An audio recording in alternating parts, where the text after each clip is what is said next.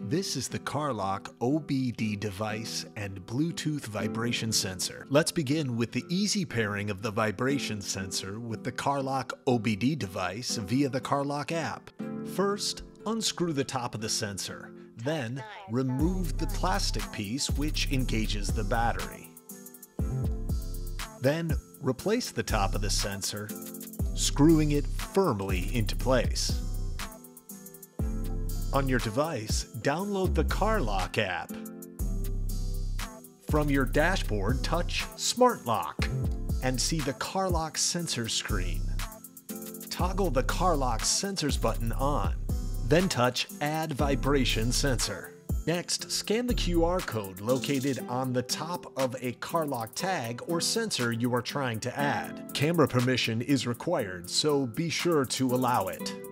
Your device will automatically scan the QR code and link to your vibration sensor. Click Turn on the sensor and be sure to allow Bluetooth.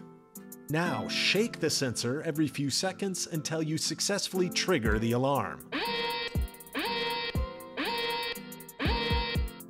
The sensor works in conjunction with the CarLock OBD device. Insert the device into the OBD port on your vehicle. Once inserted, the lights should flash blue.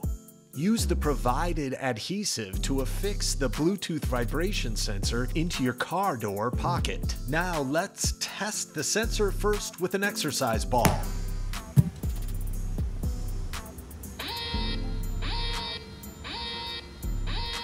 Now a basketball.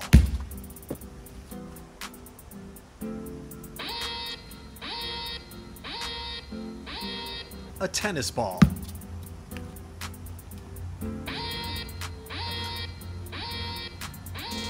And a shuttlecock.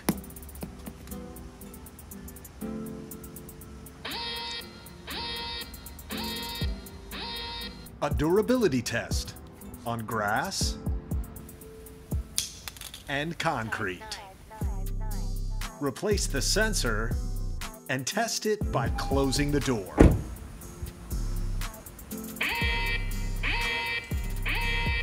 Let's do a water test, spraying it and submerging it.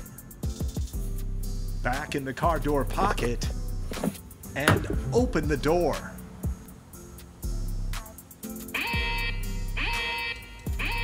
Don't be caught unaware. Protect your vehicle. Click the links below to get your CarLock OBD device and durable, easy to install Bluetooth vibration sensor today.